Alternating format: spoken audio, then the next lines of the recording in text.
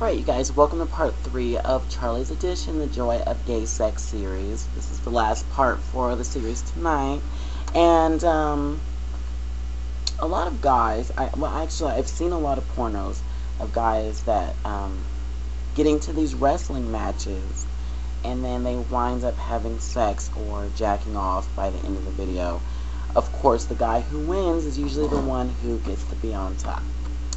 Now, um, years ago, I had this person that I used to wrestle around with, and I must say that it was a very hot experience because, well, when I was pinned down and basically told to submit, that was the hottest thing. I mean, just those legs all pinning me down and his crotch all on my face. I was like, oh my god, yes!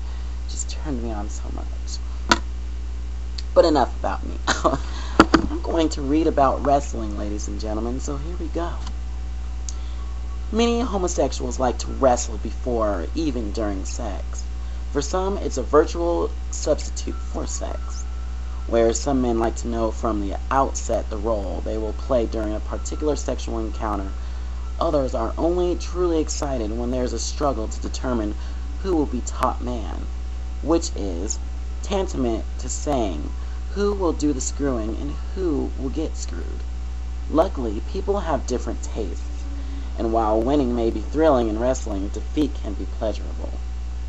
The pleasure is not only one of vying for position, it comes from the sensitivity of two strong male bodies engaging in strenuous physical insertion. Back muscles flare, biceps bulge, sweat flows, butts become rigid with strain, for some men, the prevailing flat hardness of flesh, the rigid muscu musculature, and the long exposed bones that so totally contrast the male body to the female is the real turn on. Allied, perhaps, to memories of adolescent or juvenile roughhouse play, such physical combativeness and compet competition with its underlying threat of real harm and the possibility of total subjust Gation can become the ultimate uh, aphrodisiac. For more than a few, this interest in wrestling may have evolved out of their adolescence when, for many gay youths, the closest they could come, or allow themselves to come, to physical contact with another youth was through wrestling.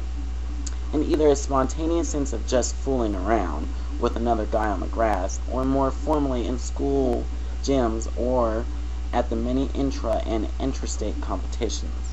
Some given to wrestling have well equipped, equipped game rooms with professional mats. The main difference between professional and sexual bouts, however, is that the latter are almost always done in the nude or at most in jock straps. We know what a jock strap is now. Often wrestler, wrestlers oil their bodies. Climax is sometimes achieved through screwing and sucking, through some wrestlers like to end up in a clinch jerking off. Wrestling can also be integrated into S&M sessions with the difference that the master is chosen not in advance but in action, right there on the mat. Many wrestling websites are welcoming gays. You'll also find gay wrestling clubs that meet periodically in many cities. So, yeah, that's wrestling, ladies and gentlemen. So if you find yourself in a wrestling match with another guy, especially when they're hot, don't think for a second that you won't be turned on because it's going to happen. Now, I have to say, in high school, I tried wrestling for like maybe a few days, but it was with girls, and I was like, yeah. Sorry, girls, but you know, I have to have that crotch all up in my face. Anyways, ladies and gentlemen, those were my three joy of gay sex subjects. You know that when I did it in the past, that's what I did every time I did the show. I did three subjects, and those were three subjects that I wanted to cover tonight. So, um, basically, I want to continue on with the Joy of Gay Sex series.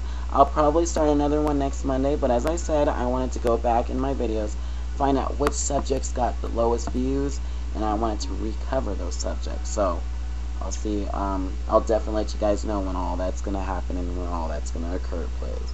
So, thank you for watching tonight's show. Be sure to comment, subscribe, let me know what you guys thought about tonight's subjects, and um, definitely um, just say hello. Just let me know what you're thinking and how you like these subjects tonight.